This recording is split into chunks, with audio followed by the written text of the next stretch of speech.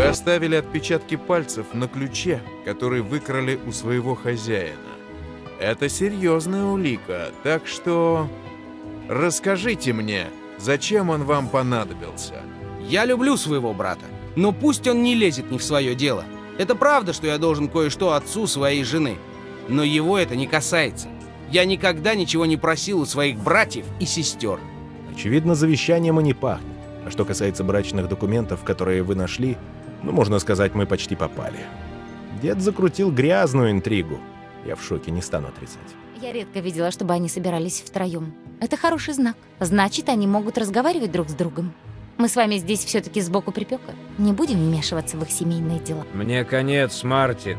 Башня исчезла, и я исчезну вместе с ней. Я отказываюсь от места на воздушном шаре. У вас будет больше шансов выбраться, если вес уменьшится на одного человека. Ты хочешь снова разбудить мой гнев своими вопросами? Лучше пойди отдохни, Джек Норм. И оставь Колю в покое. Я ничего не знаю, Джек. Нам обо всем рассказал адвокат. Он едва не погиб, пытаясь спасти старика. Такая храбрость заслуживает восхищения. Вы согласны, Джек? Ну, конечно, инспектор. Я убил деда моей жены и потом позаботился оставить в качестве улики отпечатки своих пальцев на орудии преступления.